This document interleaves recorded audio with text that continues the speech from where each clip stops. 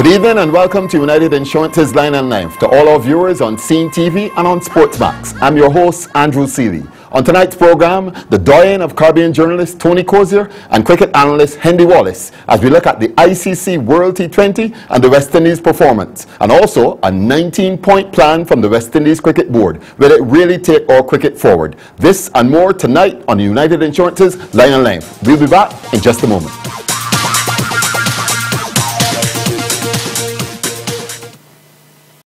When you are insured with United Insurance, you know you're in safe hands because our AM Best Excellent rating means that we have the financial strength and stability to protect your prized possessions. Rely on the company that understands your needs for property, motor, business, and marine insurance. For all your general insurance needs, choose United Insurance. Welcome back to United Insurance's Line and Length. And as I said earlier, Tony Cozier and Hendy Wallace are in the studio. Gentlemen, what an exhilarating performance by the West Indies so far. Tony? Well, apart from one match, the first one. Well, it was exhilarating then too, but on the Not wrong really, side. No, no, it wasn't. the first match had nothing to it. There wasn't a, it wasn't a tight finish. Um, so many of the matches have been so, as you say, exhilarating. Um, my wife and our sister-in-law, my sister-in-law, who is staying home with us, um, you know, they don't know anything about cricket. They, they hardly ever go and so on. They're riveted to T20. And I think everyone is riveted. I mean, you look and see with, with Holland having to make, what was it, 190 or something off 40, 14 13, points. 13 point over. or something. Yeah, I mean, 19 sixes. And then they almost beat uh, South Africa. And then you get West Indies coming back from that little slump after winning the uh, f- first four matches and regrouping. Because you would expect, a lot of people expected, I would say, that the West Indies, having beat, lost the first match pretty badly, would have found it difficult to psychologically lift themselves. And look what they've done. You know, they've come out really, really strong, hammered Bangladesh. Well, I mean, that was to be expected. And now beaten Australia in the last over, when that didn't seem possible at all. Hendy, clearly 2020 is here to stay. And clearly we have become the exponents of the art of 2020 cricket. We mean in the West Indies. Well, first of all, we're defending uh, World T20 champions. And also, you feel that the, the style of which West Indies play the cricket, that the T- T20 format is suited to the skills of our players. Uh, we see a lot of power hitters down the line, and they're very strong in the field as well. And the other string to the bow, so to speak, is the bowling aspect of it.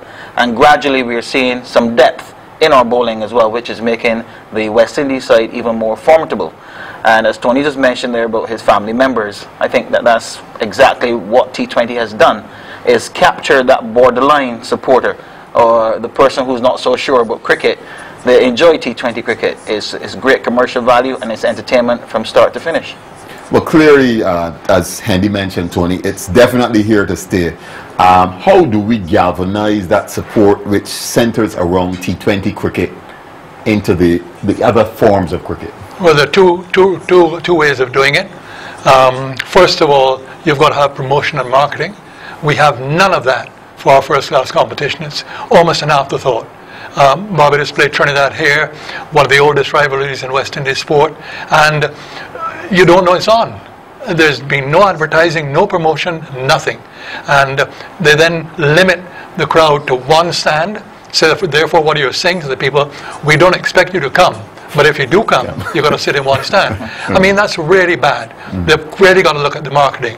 And then, as far as the competition itself is concerned, to try and get all the best players back in the competition. I mean, look at Trinidad and Tobago. If you had your best players back, you've got Simmons, Bravo, Pollard, Gayle, Narine. I mean, to see them play against a Jamaica team with Gayle, Russell, Samuels, and so on. I mean, we just don't have that. We used to have that, of course, in the 80s when we were really strong. And you'd see Daniel and Clarke and Marshall bowling at Viv Richards uh, and Richie Richardson, etc. That's what made our cricket strong, where at that level you had almost test match level. Some say above test, Test match, match, level. yeah. Um, and we just don't have that now. And the, our first class season is just treated as a as a nothing. Afterthought. Yeah, Uh, almost an afterthought. Nothing. Uh, Hendy, as, as chairman of selectors, we're going to get back to the T20, but it's an interesting point being made by Tony. As chairman of selectors uh, for Barbados, the, the, the, you must face issues similar to what Tony's talking about in terms of being able to select what you may consider your best Barbados team? Yes, yes, you do have the challenges. I try to put a positive spin on it by using the opportunity to expose more players who are at the same level, and uh, which is nothing new as far as Barbados is concerned. In the fast bowling department, we have a dilemma where we have about six players who are of West Indies experience or what have you. So with the guys away on international duty or foreign um, jobs with the various T20 tournaments around the world, we then use that opportunity to try and rotate those players the best way we possibly can. Now what will happen is that there will be some disappointment along the way, but you would expect that, and I say it's nothing new. But you try to be as fair as possible and be guided to that the, the main focus is Barbados cricket.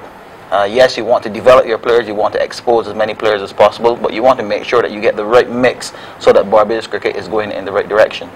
Okay, gentlemen, we're going to get back to, in fact, the 19-point plan from the West Indies Cricket Board in the second half of the program. But if we look, if we look at the World T20 now in its entirety, we have seen some interesting matchups uh, involving Bangladesh, involving the Netherlands, uh, but more particularly against South Africa. How have you viewed the tournament so far, Tony, uh, uh, uh especially in terms of the cricket on the field? Well, I think the cricket on the field, even with um, the, the first round between the associates, um, Hong Kong beat Bangladesh. Mm-hmm. Um, that match between Holland and Ireland we mentioned before, where they had to get 190 or 14.2 overs, and Nepal came through really well and so on. So you're looking at new teams there, and T20 cricket is the only format which gives them the opportunity to spring surprises. You wouldn't expect, for instance, uh, let's say Afghanistan to beat Australia in a test match, mm-hmm. but you put them in a 2020, you never can tell. And it's what since 2020 has come in, the first 2020 Zimbabwe beat Australia. Um, you know, you get those. It's there, and it's a creation for excitement and for unpredictability, for for excitement and, and also for upsets. Um, now that's what we're, we're getting.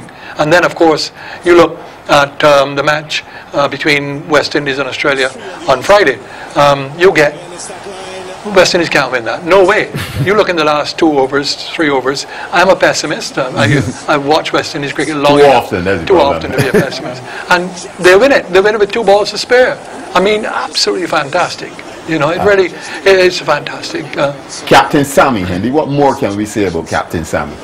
I think he's led the team well. Uh, he's done it consistently, in my view.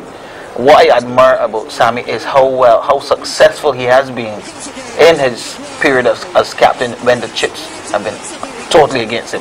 And to me, that shows us a strength of character. And gradually, I'm seeing the players more and more respecting and acknowledging him as captain and as the leader of this part, especially when we're, we're, we're batting. I think he's obviously identified a role for himself, which has been very effective for West Indies and the success of West Indies. And that was really critical when we, you know, put this team together uh, a couple of years ago for T20 cricket, was to be clear of the roles of the respective players. And once players have their roles clearly identified, I think you're on the right path. In terms of roles, Tony, obviously Samuel Badree and Krishmar Santokie have come into the setup and clearly have recognized their roles and gone forward and in fact have become trump cards for the team. Well, Badree was there. Yeah, the champion, yeah, but, but he not played that um, yeah. But he played in almost every match. Yeah. He played in the final. Mm. Um, Santokie has only just come into the West Indies setup. Um, when you look at Santokie's returns in regional cricket, he deserves a play. There's no question about that. Uh, he played one match, I think, against the Australians and uh, cleaned up Warner in his first over in St. Lucia.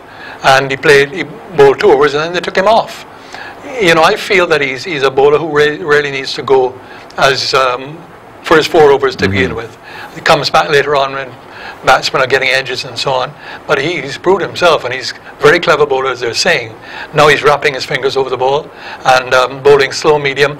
But someone mentioned Derek Underwood the other night. Now, mm. now that's a kind of uh, comparison which uh, indicates that here's a bowler um, who doesn't look too much, but uh, you know he keeps line and length. He's at you all the time, and he very, very rarely bowls a bad ball.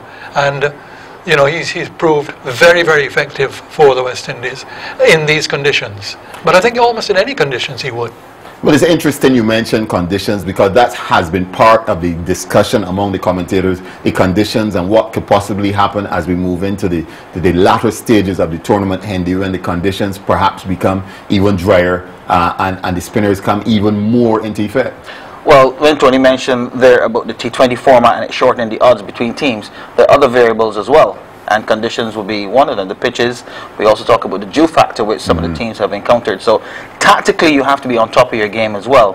You can't just go in um, with a set plan and not be not be flexible because your spinners then could become ineffective if the dew factor becomes a, mm, a, a too much of a factor. Precisely, if it comes into the equation. Mm -hmm. So again, teams have to look at that in their in their planning to make sure they cover all the bases. And you see with, like, with Sri Lanka and England, for instance, the Sri Lankan slow bowlers then became less effective, and to some degree the seamers as well, because the ball was like a bar of soap. So the control wasn't there that you would expect from the Sri Lankan bowlers, and I think then that aided, not taking anything away from Alex Hales' innings, but it certainly helped the English to get over that what was a what seemed a very formidable total from the Sri Lankans. Well, it was a very formidable total, and and and kudos to the performance of the England team, which we had seen down here, Tony, and were not totally impressed with. No, but they, they had a fellow make 100. Yeah. They, were, they lost two wickets in the first over. Right. So they needed a, a, partnership. Well, we know about Morgan. Morgan's got a big reputation in the abbreviated format of the game. And Hales then came on. I know he made 99 against the West Indies in a 20 20 match in at Trent Bridge mm-hmm. in 2012. Um, I think we knew that he had potential. He had a bad tour here. He didn't look the part, but then he goes there. Started badly in the series in in uh, Bangladesh in the warm matches, but they kept with him, and of course he produced that magnificent match-winning innings. Talking about that, as far as match winning is concerned, just get back to Darren Sammy. Remember um, back in when they were playing 50 overs cricket only, there was no T20. The big finisher was Bevan, Michael Bevan. Michael Bevan, that's right. Hardly played Test cricket, but he was key, ideal key, at the yeah. end, key at the end for Australia. That is what Sammy is doing now at the end. You know, he won um, an ODI in New Zealand 43 off 28 balls came into the end. We had lost seven wickets uh, early, um, and we needed runs to get in the end. He slammed the ball all over the place. We saw what he did with Bravo in the first ODI here against England. You know, when he comes in at the end and wheels that bat, and he's a strong fellow, and if you give him just the kind of length and line that he needs, the length more more so, he'll hit the ball out of the ground, out of the, well, not out of the ground, into the stands. stands. Probably kill a few mm-hmm. people there because it's going flat, flat, flat. Whereas Gayle is up in the air, so you've got time to run. You know, with Sammy, you'll have time to run. It's like a tsunami. Zoom. We're not running anywhere now, Cozier. We're going to come right back with you. You're watching United Insurance's Line Life. When we come back, there's a 19-point plan from the West Indies Cricket Board.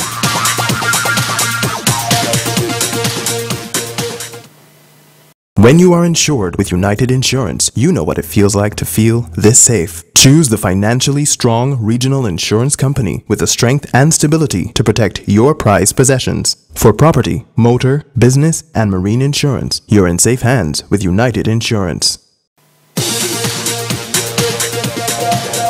Welcome back to United Insurance's Line. For, in the studio, Tony Cozier and Hendy Wallace. And gentlemen, we're now going to take a look at this 19-point plan from the West Indies Cricket Board. Tony, I know you know for sure that this is not the first plan from the board. No, but this, this now deals specifically with cricket, mm-hmm. whereas some of the other plans deal with governance and so on. And this is pretty compreh- comprehensive as far as cricket is concerned. Um, some people will say, well, there are one or two issues on it where it's very difficult to carry them out. But you know, at least they've made a made an effort. Richard Pybus has come down. He's been around the Caribbean. He's spoken to people. Um, he's got ideas um, locally, and uh, he's worked on that. And now he's presented to the board, and the board has uh, approved all of them, with the exception of one, which I see um, deferred. And uh, it, the one that's deferred states uh, a board sign off on professionalism, professionalization of the regional first class game. Six first class cricket teams, strength versus strength. Now that means one has got to drop out, and of course that will be CCC. CC. Now, you know, there's been a lot of talk about that. You know what happened in Trinidad in the Nagico Pro 50, where they were out uh, and then put back in. A lot of talk and a lot of controversy over it. Um, I don't think anyone would want to see the out, CCC out, but the board has to, has to ensure that the whole purpose of the CCC is adhered to. So you get Floyd Reifer, for instance, still playing at the age of 41 and keeping a 20-year-old um, Ali in the opening Anthony Ali. Anthony. I mean, he was ready to play. Apparently, I've heard that he he's, he was crying uh, on the morning of the match when Floyd Reifer came into his place. Now, Reifer has done a good job, no question about that. Uh, you can see the esteem which, with, with which he's held at the university. But is he needed on the field? I mean, it's demeaning to, to the students to feel that we can't handle ourselves. We need someone out there with us. I think it's got to be the students and students alone. Ryan Austin, not a student, he's an employee of the CCC. So the board has got to ensure that these things are straightened out, that they, the system which they have in mind is not abused. And once that's fine, CCC should remain. Is it that we need to further or redefine the concept of CCC, or has it been properly defined, uh, uh, or and is it come off the tracks? What what's, what's what is it, Hendy? Well, I actually can't say. I don't, I don't know if it's been properly defined, but uh, I think that all and sundry would say that if it, it if it actually functions the way it should, I think it's beneficial to, to West Indies cricket, and it gives an opportunity for those students around the region who may not necessarily be able to break into the team, not because of lack of skills, but because of lack of opportunity. Uh, to get a chance to really showcase their talent. So I feel that students who are looking to balance their studies and their playing expertise, I think it's an I think it's an excellent channel for these young players. It's supposed to be development. And uh, you cannot tell me that someone like Reifer and Austin, Jonathan Carter was in, in there, and uh, he had some problems with him. I don't know, he got kicked out, so he's playing for Barbados now. Um, that, you know, players who are not students, who are over 30, over 40, they're not there for development. They're not developing. They're, they haven't got a chance to play for West Indies. You know that. Austin will not play for No. West Indies. Reifer will not play for the West Indies again unless somebody goes on strike. And uh, you know, the, the thing is that it's there for a develop as a development team. And I know there's a body of opinion going around that an A team, a West Indies A team, would do just the same thing. Of course, the question of the educational uh, element coming into it um, goes on the on the side of CCC. Um, I don't want to be critical of the CCC because when you are, they get very uptight up there and you know email email you and write all sorts of things in the paper about you. But you know, you've got to stick to what the concept originally was. Right. If we look at if we look at the plan itself, Tony, the, there were 19. What, what do you consider the, some of the more major aspects of the 19-point plan? Well, I think all of them. I mean, you look at all of them. I mean, Okay. you know, all together. Um, they, they aren't separate. You know, They- they- need to be- I th- yeah, I think they need to be um, combined. Mm-hmm. Of course, there's some which may be more important than others, and but it's all on cricket, and therefore, what I mentioned as far as the the marketing is concerned is not in here. Mm-hmm. Now, that to me is a priority, and also it is mentioned in here to try and get the top players back for our season. That, that really is, those two things to me are really a priority. Right, Hendy, you were wanting to make a point. Well, for me, um, you know, as I said, it really needs to, everything needs to really work together. But uh, I'm, I was, I was very happy to see that some emphasis was placed on the, the facilities, the pitches and stuff around the region. That uh, there be some focus on that as well, because uh, we put a lot of emphasis on the players and the standard of cricket and what have you. But I believe that the conditions in which they play will have a role in what we see on the field of play. So I'm, I'm happy to see that some attention has been paid to that as well in the in the plan. The concept of a coaching manager. How, how, how do you view that, Andy? Again, that's all part of development for mm-hmm. your, your coaching structure, mm. not necessarily at the top, but certainly at your regional level and maybe just under under 19 level as well. You would expect that if that template is in place for your, your coaching manager to oversee the development of your coaches, that can also have a knock-on effect. So I think that's primarily for your overall coaching structure in your cricket. And we've gone back now, Tony, to something which I always thought should have been the case that the coach it will now be a selector and a voting selector, where the captain will be invited to the meeting. Yeah. Um, Not all the countries um, use that system. No, no. Australia don't. No. Um, I'm not sure with, with India and the others, but you would think you know, with their input would be essential. You know, you're giving a fellow who is captain in the side. There's the side. Oh, I, don't- I don't want that fellow, want that, that, but you'll have to take him, you know. So I think, but any selection panel, if they're, you know, thinking clearly, would want to, even if the captain is not on the selection panel, would say, can we get your views? Mm-hmm. And the coaches and everything. Go around, and I'm sure that they do, go around and check the coaches, you know, check the players, senior players. What do you think of this youngster coming up? How, do you, how does it look? To me this year, this coincides with a season so far which has been very positive as far as I'm concerned.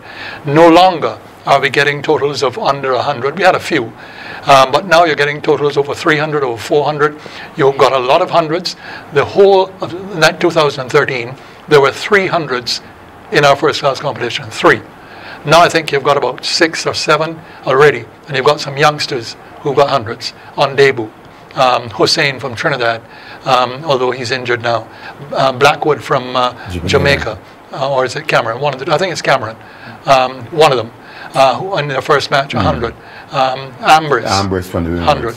Then you got the two here, two all-rounders, Carlos Brathwaite. I hope he now realizes that he can bat, you know. And the same with Ashley Nurse. He can bat. You know, he makes hundreds in the local competition. He's an off-spinner, but don't consider himself only an off-spinner. And, And we, and we had two CCC centuries, just to, just to bring that in. Shakoya Thomas and Chadwick well, Walton. well, Chadwick Walton you expect, Yeah, yeah. right? But this fella Thomas, Thomas. I saw him in Trinidad. He's a big, strong fella, and uh, you know I reckon that he could well go on. He look, he looks, he looks good in the field, um, and he's he hits the balls nicely. It's just for him now to go on. That's what we look for. Fella makes hundred. Next thing you know, Jonathan Carter makes hundred. Long inconsistency. What you're looking for is consistency, not only in the individuals but in the team itself. And uh, now we're getting totals of over 300, over 400. Very few now under 200, which used to proliferate uh, over the last 10 years or so. Well, it seems as if 2014 could be a good year for West Indies cricket. When we come back, we'll hear from Hendy Wallace on some of Barbados fast bowlers and if they're getting ready for West Indies cricket.